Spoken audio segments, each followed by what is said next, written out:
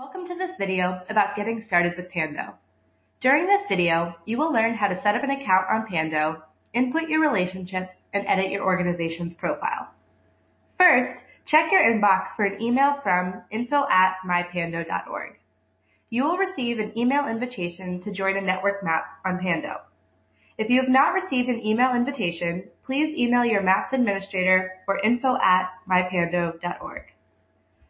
Click the button to set up your account on Pando. You will be redirected to Pando where you can create your password for your account. And click Submit. Next, you will be asked to re-enter your email address and new password. Then click Login. After you log in to Pando, you will be automatically redirected to your relationship manager. At the top of the page, you can read a brief description of the relationship mapping effort under the map name to understand the purpose of this network map and how the information will be used. Next, get familiar with the collaboration areas. Collaboration areas are used to describe the ways that organizations or individuals work together within this network. In this example, we are interested in the policy issues and advocacy efforts that actors are working together to address, such as open budgeting for government, and representation of women in agriculture. You can learn more about the collaboration areas by clicking on this Learn More link. Now it's time to begin entering the names of organizations. As you type, the names of organizations that have been identified by other MAP participants will appear. When applicable, select the organization's name from the drop-down menu. This will prevent duplicate organizations from being entered into the network map. Indicate how you work with each organization by selecting a collaboration area from the drop-down menu. Next, indicate how frequently you work with each organization by selecting often, sometimes, or rarely from the frequency drop-down menu. Select no longer active to remove a relationship from the network map. Finally, invite your contacts to join this relationship mapping effort by providing an email address for the organization. Your contacts will receive the same email invitation that you received to join Pando and this network mapping effort. Use the Add Another Row button to add additional relationships.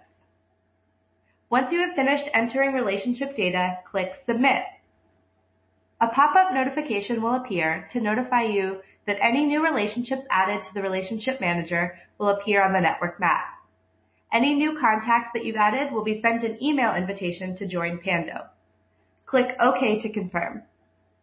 You may return to the Relationship Manager at any time to update your relationships.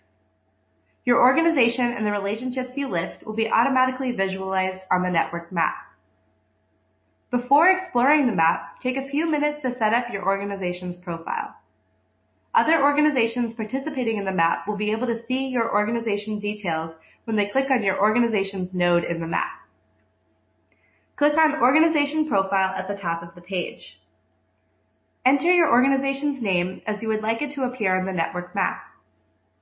Enter a brief description of your organization, which may include your organization's mission or activities. Input the complete URL for your organization, including http colon forward slash forward slash. Next, select the locations where your organization works. You can select more than one location by holding down the control key on your PC or command key on a Mac. Provide the URL for your organization's logo. You can usually access the URL for your logo by right-clicking on the logo on your organization's website and selecting Open Image in a new tab. If you don't have a URL, that's okay. You can leave this blank. Select Type of Organization that best represents your organization using the drop-down menu. And finally, select the appropriate areas of expertise for your organization. Again, you can select more than one area of expertise by holding down the control key on a PC or command key on a Mac. Next, click this box to indicate that you would like to share your contact information with other MAP participants. Enter the primary contact information for your organization. You may choose a primary contact other than yourself. Remember, MAP participants may use this information to reach out to you to learn more about your work.